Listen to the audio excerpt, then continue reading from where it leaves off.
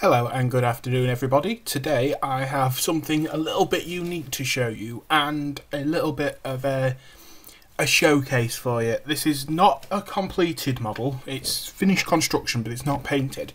Uh, this, this model that I'll be showing you was a sort of a commission from a friend. Basically he is making a Mantic Kings of War werewolf army. And for those that are unaware, the werewolves are part of the undead army for Kings of War, but they don't have any characters.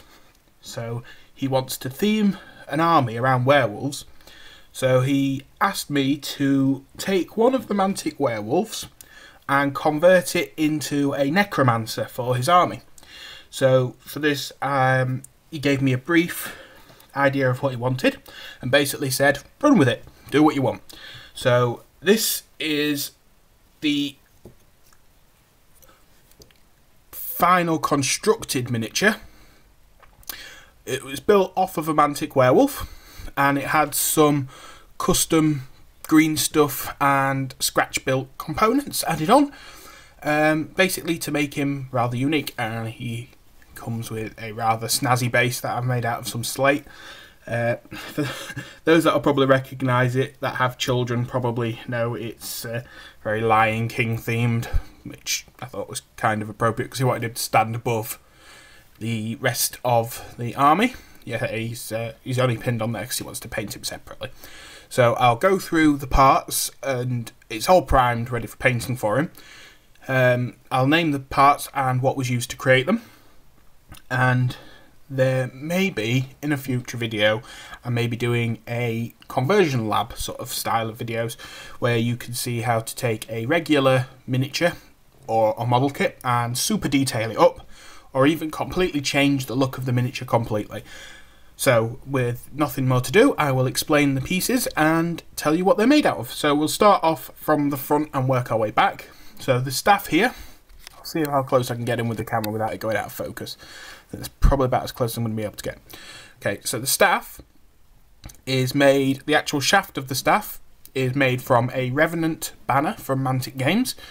Uh, this is basically a, a, a, it's a stick with uh, lots of bits bits and bobs stuck on it like like three twigs wound, wound together with pieces of string.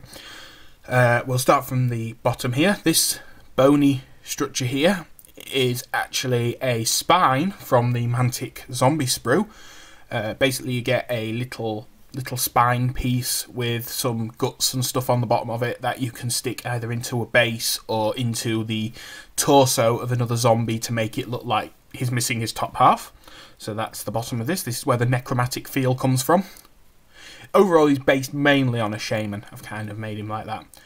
Uh, the good thing with working with Restic, some people don't like working with it. I love the stuff, especially for converting, because if it was plastic, I would have had to have cut this hand off and messed around with it and to stick it back in place. Where with Restic, few minutes with a hairdryer, malleable as anything, so I could bend the hands around the staff. So it's it's also been repositioned easier to fit on the stick as uh, on the stone as well. So he's repositioned so he stands on the stone properly. Uh, okay, so we'll work our way up. This skull here was made from a Tomb King's banner from uh, Games Workshop's Warhammer Fantasy range. Uh, as you can see, it's a two-headed skull. I don't know if you can see the other end of that. Uh, it's a two-sided skull uh, that came off the banner. The bag and the tooth here, this thing here, was made out of green stuff. And then the top piece is a Skaven Plague Monk. Uh, I assume it's a banner top for the Plague Monks, but I thought it looked rather wizardy because it's got claws around it and this big crystal in the middle.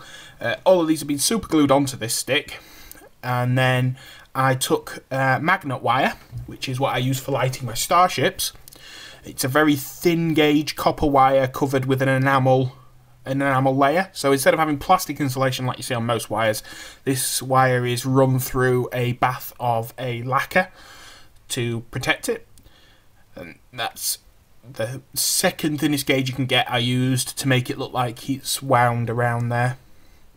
Okay, then we go to his his cape clutch clasp here. This was made out of grit. The whole cape here was made out of green stuff. This this area here was green stuffed and the skull was green stuffed as well.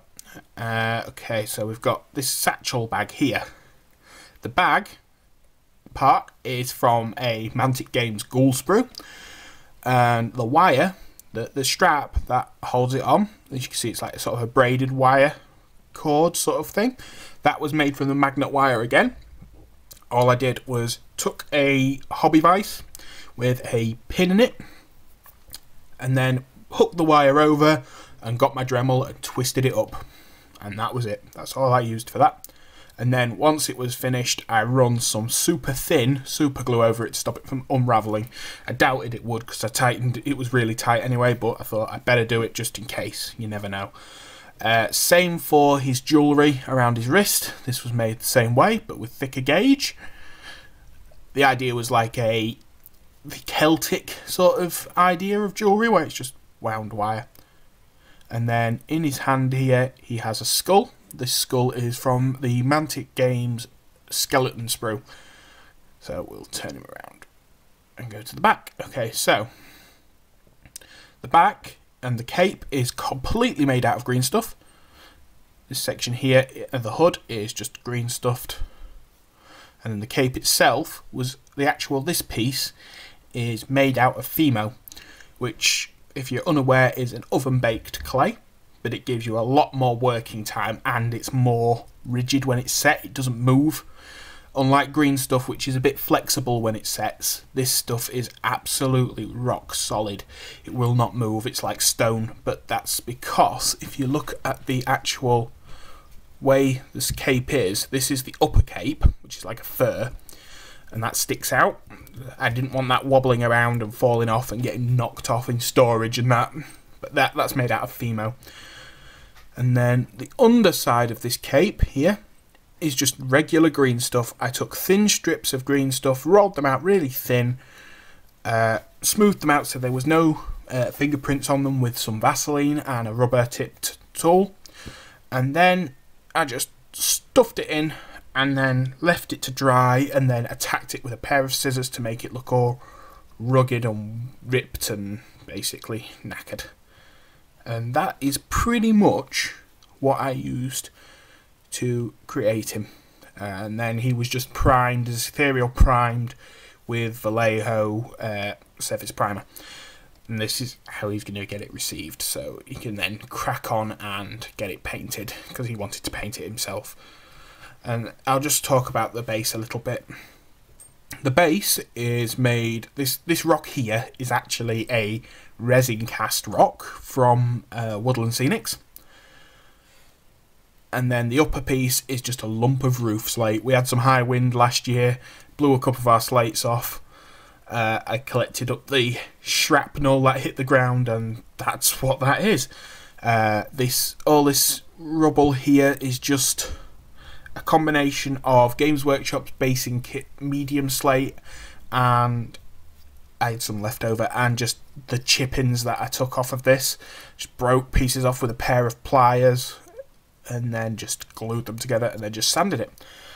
Uh, same at the front here. This is the same sort of material, but I hit it with a hammer a few times to make lots of little rocks that could stick on the bases.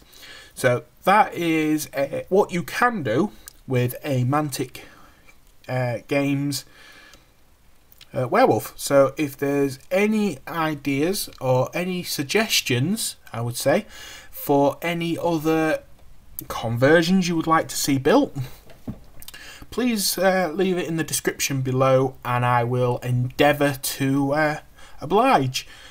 Up and coming next is a recommendation or a request from another YouTube user is uh, some Lord of the Rings tutorials, which I will be filming shortly. There may be about a two or a three week delay on those actually going live.